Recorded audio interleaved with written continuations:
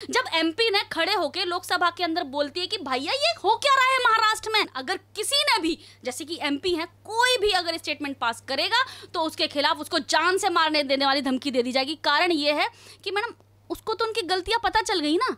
तो उसको डर है कि कल को अगर उसने ढोल बजा दिया कि मैंने कांड क्या करा था तो दुनिया भर को पता चल जाएगा। लेकिन महाराष्ट्र गवर्नमेंट ये भूल चुकी है, अगर आप काम करोगे ना, इस तरह की स्थिति अगर आप देश में अगर पैदा करोगे तो आप कहीं के भी रहने लायक नहीं रहोगे। क्योंकि महाराष्ट्र गवर्नमेंट का ये रवैया रहा है कि अगर किसी ने हमारे बारे में बोला तो हम गोली मार देंगे। एमपी से खुले आम लोकसभा में जब बोला जा सकता है। मैम, महाराष्ट्र में इंटीलिया केस मामले से जितनी ज़्यादा चीज़ें निकलकर सामने आई हैं, सचिन वाजे, परमवीर सिंह या फिर अनिल देशमुख। आज अगर महाराष्ट्र में इन सारे केसों को लेकर कोई बात करता है, उंगली उठाता है या फिर सवाल पूछने की कोशिश करता है उद्धव ठाकरे की सरकार से तो उद्धव ठाकरे की सरकार के एमपी यानी कि अभी जो खबरें आ रही हैं, रवनीत राणा, जो भी एक एमपी है, उन्हें धमकियाँ दी जा रही हैं शिवसेना के एमपीओ की तरफ़ से कि तुम्हें जेल में डाल देंगे।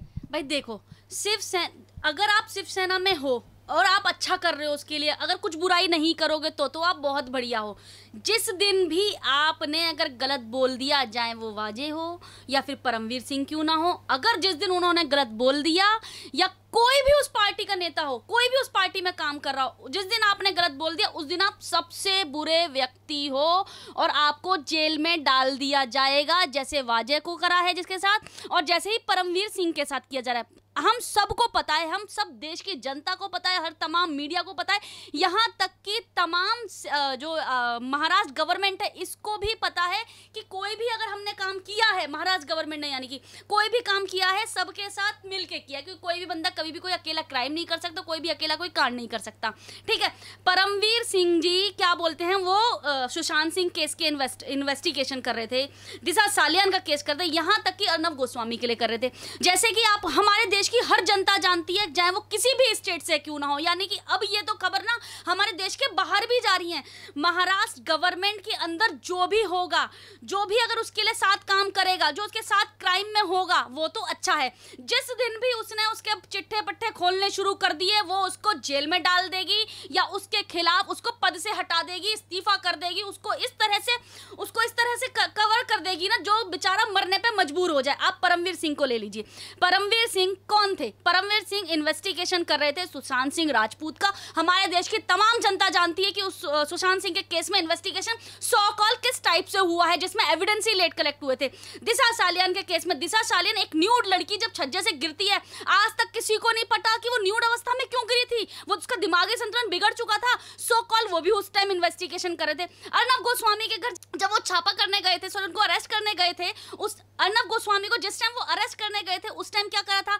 जिस टाइम तक ये लोग अगर इस तरह की स्थिति कर रहे थे, जैसे परमवीर सिंह जी इस तरह का काम करते, उस टाइम परमवीर सिंह जी बहुत बहुत बहुत बढ़िया थे और गवर्नमेंट सरकार को सबसे अच्छा लग रहा था। वो तो शायद एक तमका भी दे सकते थे, यानी कि जिसको हम अवार्ड बोलते हैं।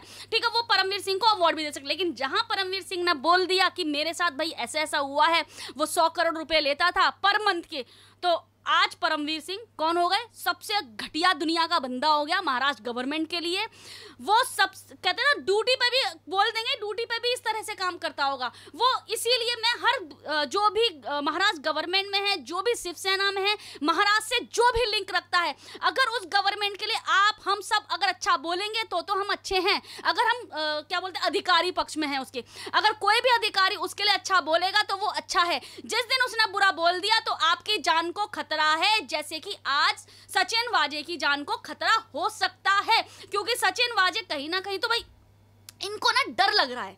सच बताऊँ तो इनको ये डर लग रहा है, कल को मेरे चिट्ठे ना निकल के आ जाएँ।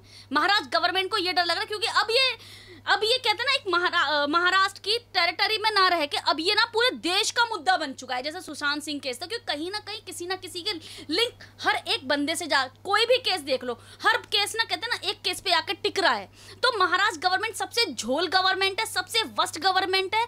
हम सबको मुहिम चलानी चाहिए कि महाराष्ट्र गवर्नमेंट दोबारा से महाराष्ट्र में अब शिवसेना नहीं आनी चाहिए। जो आपने अभी परमवीर का ज़िक्र किया परमवीर को लेकर लोगों की तरफ़ से ये भी कहना है कि एनसीपी यानी कि शरद पवार की पार्टी जिस तरीके तरीके से अनिल देशमुख को बचा रही है, वो इसीलिए बचा रही है क्योंकि अगर अनिल देशमुख से इस्तीफा मांगा या फिर उन्हें हटा दिया गया तो परमवीर की तरह वो भी कई सारी चीज़ें हैं जो दुनिया के सामने रख सकते हैं, सच्चाई काफ़ी ज़्यादा सरकार के सामने रख सकते हैं तो इसी डर के मारे उन्हें नहीं हटाया जा रहा। इस तरीके की बातें हमारी देश की जनता की तरफ़ से हो रही हैं। डेफिनेट सी बात है, आप खुद सोचिए, एक चोर का दोस्त चोर होगा, पुलिस का दोस्त पुलिस होगा एडवोकेट के दोस्त एडवोकेट होंगे।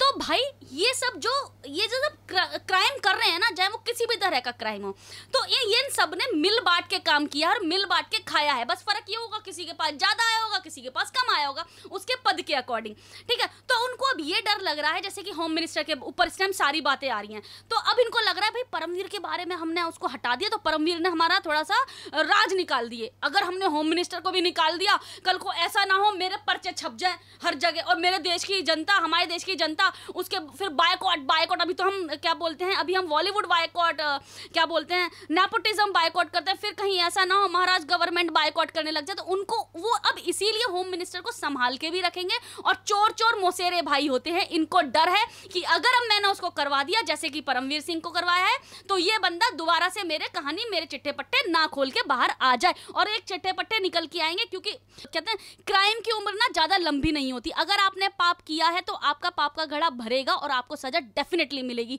और जब कहते हैं ना, जब देश की जनता जब सजा देने पे आती है ना ना आप घर के रहते हो, ना घाट के रहते हो, अब वो वाला समय चला गया सोशल मीडिया एक ऐसी ऐसी स्थिति सोशल मीडिया में एक ऐसा प्लेटफॉर्म बन गया है ना जिसमें आप अगर कोई भी चीज़ अगर अभी बोलते हैं ना तो वो सोशल मीडिया के थ्रू ना रात तक बहुत तगड़ी वायरल हो जाती है। और महाराष्ट्र की जो स्थिति चल रही है, चाहे आप सुशांत केस से ले लीजिए दिशा सालियान के केस से ले लीजिए, कंगना रनावत के केस से ले लीजिए, यहाँ तक कि उनकी जो जो उनकी वाइफ है है ना, संजय राउत की वाइफ की, किसी भी स्थिति से ले लो, महाराष्ट्र गवर्नमेंट इस टाइम ना हाईलाइट मुद्दा बन चुकी है।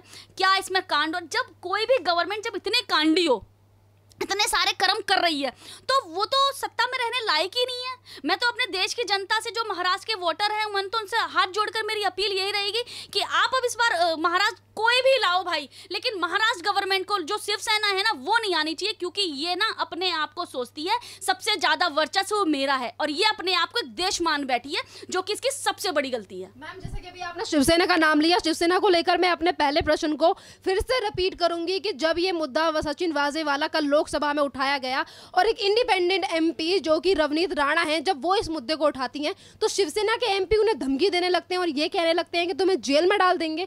आखिरकार क्या वहाँ पे सच्चाई के लिए बोलना इतना ज़्यादा बड़ा गुना हो गया देखो, ये ना एक ना ह्यूमन नेचर होता है। जैसे कि अगर सपोज़ करो, आपके अंदर कोई कमी है और आपकी कमी को एकदम सडनली कोई बता दे और आप पे तो चली कांड ऐसे रहे जैसे रिया चक्रवर्ती के केस सुशांत सिंह केस में हुआ था, जब रिया चक्रवर्ती के बारे में चिट्ठे पट्टे सब खुले जाते तो Rhea Chakraborty so call no makeup look लेके आ गई तो सेम इसमें भी यही हो रहा है। जब एमपी ने खड़े होकर लोकसभा के अंदर बोलती है कि, भैया, ये हो क्या रहा है महाराष्ट्र में? ये आजकल ऐसा ज्वलनशील मुद्दा क्यों हो गया है? जबकि कोरोना के सबसे ज़्यादा केसेस आज भी महाराष्ट्र में है। महाराष्ट्र क्यों नहीं कोरोना पे काम कर रही है? और स्टेट की तरह से। वहाँ पे ना काम करके यहाँ पे बस अपराध ही अपराध हो रहे हैं। कभी तुम्हारे यहाँ पे ड्रग्स की फैक्ट्रियाँ पाई जा रही हैं? कभी दाऊद से कनेक्शन इनके हो रहे हैं, कभी पाकिस्तान से इनके पास पैसा आ रहा है, कभी किसी का घर जाके तोड़ रहे हैं, किसी को अनएथिकल तरीके से अरेस्ट कर रहे हैं, बेचारे लोग मर रहे हैं, आत्महत्या कर रहे हैं मुंबई के अंदर, उस पर कनेक्ट नहीं करेंगे। लेकिन अगर किसी ने भी, जैसे कि एमपी है, कोई भी अगर स्टेटमेंट पास करेगा तो उसके खिलाफ उसको जान से मारने देने वाली धमकी दे दी जाएगी। कारण ये है कि मैडम उसको तो उनकी गलतियाँ पता चल गई ना।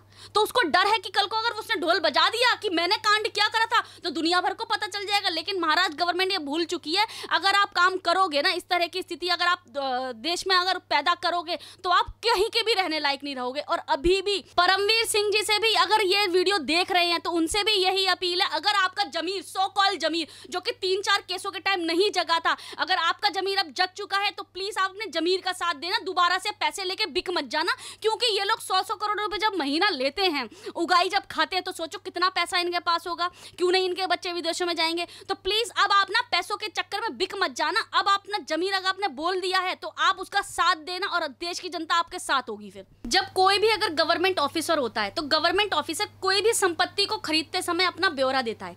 सबसे पहली बात तो सचिन वाजे जी ने जब इतनी सारी गाड़ियाँ ली लग्जरी गाड़ियाँ ली सो कॉल उस टाइम उन्होंने अपना चिट्ठा पट्टा नहीं बताया कि मैं क्या क्या कर रहा हूँ क्या क्या नहीं कर रहा।